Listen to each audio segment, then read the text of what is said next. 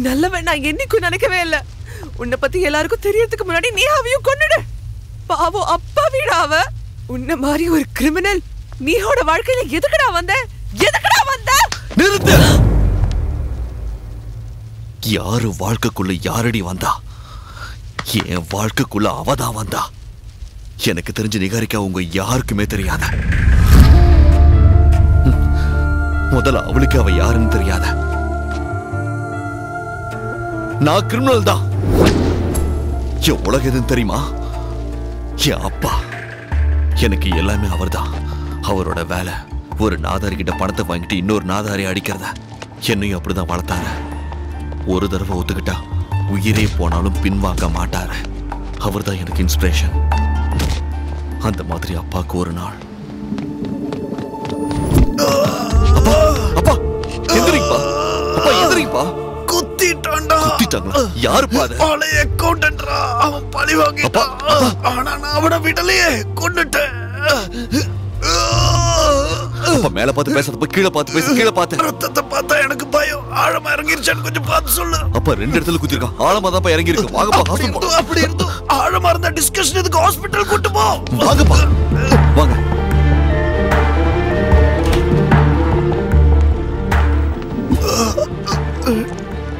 டோனி.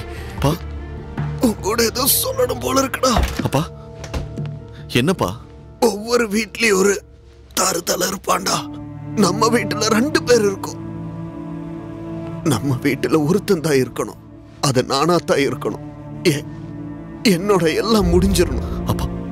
ஹாஸ்பிட்டலுக்கு கூட்டிட்டு வரும்போது என் வாழ்க்கை மொத்தம் என் கண்ணு முன்னாடி தெரிஞ்சதுடா. பெருமையா சொல்லிக்கிறதுக்கும் நல்லது செஞ்சேன்னு நினைக்கிறதுக்கும் ஒரு விஷயம் கூட எனக்கு தெரியலடா. நான் செஞ்ச வேலையெல்லாம் சட்டப்பையோட இந்த பக்கம் மட்டும் நின்றுச்சுடா. சட்டப்பைக்கு பின்னாடி இருக்கிற நெஞ்ச தொடவே இல்ல. சாட்டிஸ்பாக்சன் இல்லாம போறேன்னு வருத்தமா இருக்குடா. அப்பா உனக்கு ஒண்ணும் ஆகாதுப்பா. நீ கூட என்ன மாதிரி வாழ்ந்ததுக்கு எனக்கு வருத்தமா இல்ல. ஆனா என்ன மாதிரி ஜீரோவா மட்டும் ஆகாது. பிறக்கிறப்ப எல்லாருமே ஹீரோவாகவே பிறப்பாங்க. லைஃப் ஹீரோ ஆகிறதுக்கும் சான்ஸ் கொடுக்கும். நிறைய பேர் பயன்படுத்திக்க மாட்டாங்க. என்னாலையும் பயன்படுத்திக்க முடியல. லைஃப் நீ ஒரு ஹீரோ ஆகிறதுக்கு சான்ஸ் தரும். அதை விட்டுறாதரா அது வர்றப்ப நீயே நல்லா உணருவ. அதை அதை பிடிச்சிக்கட்டோ நீ. வாழ்க்கையில நீ திரும்பி பார்க்கும்போது ஒரு நல்ல விஷயம் செஞ்சிருக்கோன்னு சாட்டிஸ்ஃபேக்ஷனோட இருக்கணும்டா. அதை நிறைவேற்றாம மேல வந்தனா டோனி கொன்னுடுவேன் அப்பா எப்ப சாக போற மாதிரி பேசுற? உன்னை விட்டுட்டு நான் எங்கடா போக போறேன் பொழைச்சு வருவேன் இல்ல செத்தாவது திரும்பி வருவேன் இந்த கையை மட்டும் விட்டுட மாட்டேன். விட மாட்டேன் டோனி அப்பா சாகும்போது? அவர் சொன்ன வார்த்தை தான் எனக்குள்ள பதிஞ்சது? அதே நேரத்துல என் பக்கத்துல இன்னொரு கதையும் நடந்துச்சு. அது வரைக்கும் எனக்கு தெரியாது? நிகாரிக்காவோட கதை. உங்க தங்கச்சி எங்க வீட்டுக்கு அனுப்புனா போதும் தம்பி. எங்களுக்கு உங்க சொத்தெல்லாம் வேண்டாம். பிடிக்கலன்னு சொல்றதுக்கு எதுவுமே இல்ல. இருந்தாலும் நான் பண்ணிக்க மாட்டேன். இந்த மாதிரி சம்பந்தம் திரும்ப வராதுமா? நான் சொல்றத கொஞ்சம் கேளு. வேண்டாண்ணா. ஒரு ஃப்ரெண்டா நீயாவது கொஞ்சம் அவளுக்கு எடுத்து சொல்லம்மா. ஹே கமான் அந்த பையன் நல்லா இருக்கான். நல்ல மேட்ச் பண்ணிக்கோடி. என்னதாம்மா உன் ப்ராப்ளம்.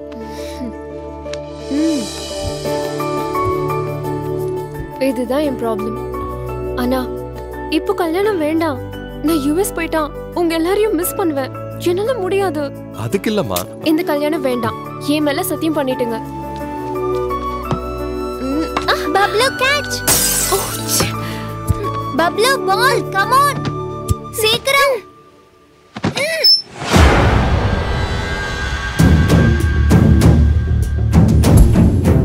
நம்ம வீட்ல எதுக்கு கன் இருக்கு? நீ பண்ற அந்த மார்க்கெட்டிங் ஜாபுக்கும் கன்ஸ் பணத்துக்கும் என்ன சம்பந்தம்? எனக்கு தெரிஞ்ச என்னோட அண்ணா தப்பு பண்ண மாட்டான் உன் மேல நம்பிக்கை இல்லாம கேட்கல நம்பிக்கை இருக்கிறதுனால கேக்குற. என் அண்ணா ரொம்ப நல்லவன். தப்பு பண்ண மாட்டான்.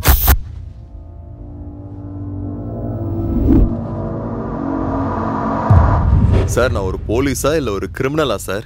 அப்படியே கேக்குற சூர்யா.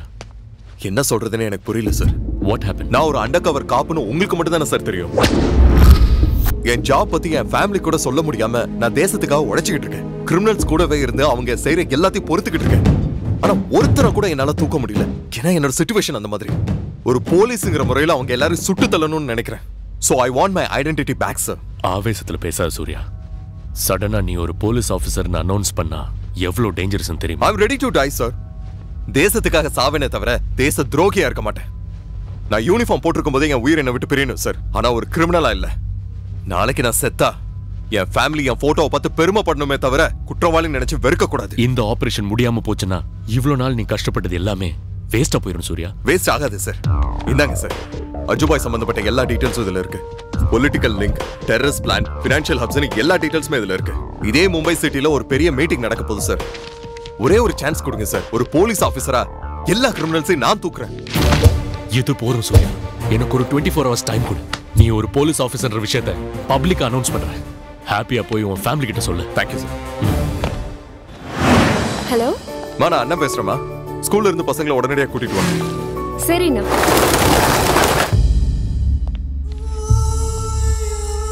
உனக்கு சம்பந்தப்பட்ட எல்லா விஷயம் அதுல இருக்கு. யார் கூட எங்கெங்க உன் லிங்க்ஸ் அக்கவுண்ட்ஸ் எல்லாமே இருக்கு. இந்த உலகத்துல எந்த மூலைக்கு போனாலும் ஒளியவே முடியாது. You are finished Ajubhai. அப்ப என்னோட அரசியல் வாழ்க்கை அவ்வளவுதானா? ஏதாவது பண்ணுங்க அஜுபாய். இல்லைன்னா நானும் என் பையனும் லைஃப் லாங் ஜெயில தான். ஐம்பது கோடி. இந்த கேஸை க்ளோஸ் பண்ணிடு.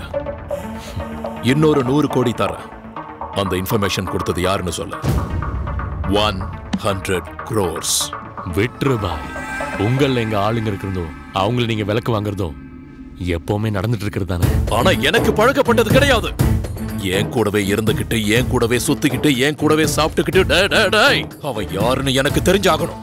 தெரிஞ்சே ஆகணும். ரெண்டு நாள்ல உனக்கே தெரிய வரும். அவனை போலீஸ் ஆபீசரா நாங்க அனௌன்ஸ் பண்ண போறோம். நோ நோ நோ நோ அவன் போலீஸ் ஆபீசரா சாக கூடாது எந்த முகமுடிய போட்டுக்கிட்டு என்னை ஏமாத்தினானோ அதே முகமுடியோட அவன் சாகணும். ஒரு கிரிமினலா அவன் சாகணும். ஒரு கிரிமினலாவே அவன் மேல போய் சேரணும்.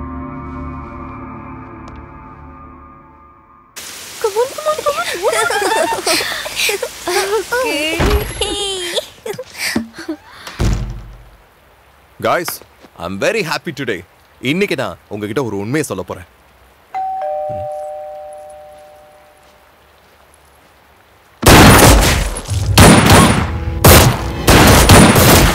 நீலிமா நீலிமா ஏய்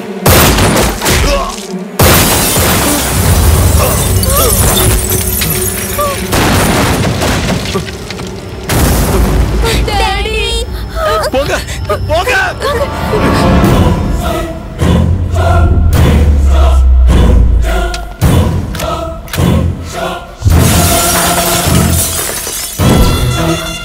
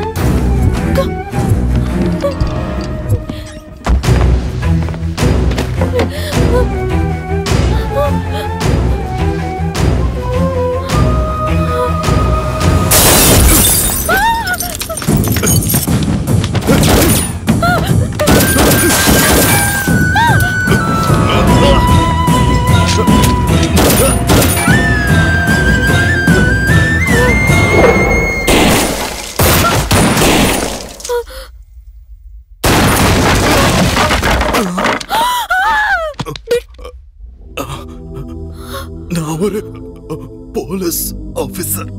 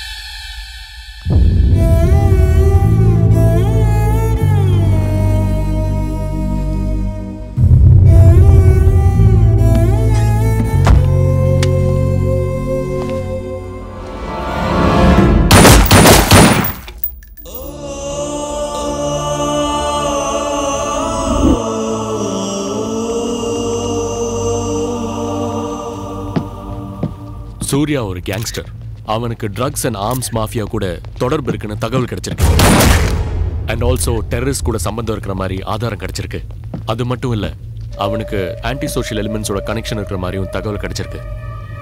இதெல்லாம் வச்சு பார்த்தா ரொம்ப நாளாக நாங்கள் தேடிட்டு இருந்த ஒரு குற்றவாளியை எங்களுக்கு கிடைச்ச மாதிரி ஒரு ஃபீலிங் வந்திருக்கு. இது வரைக்கும் க்ளோஸ் ஆகாத நிறைய கேசஸ் இந்த ஆப்ரேஷனோட க்ளோஸ் ஆயிடும்னு எனக்கு நம்பிக்கை இருக்கு. அதனால நீங்கள் யாரும் கவலைப்படாதீங்க.